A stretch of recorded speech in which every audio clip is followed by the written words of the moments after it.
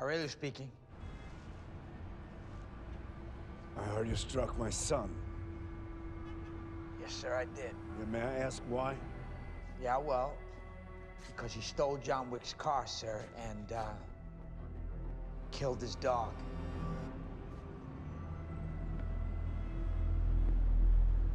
Oh.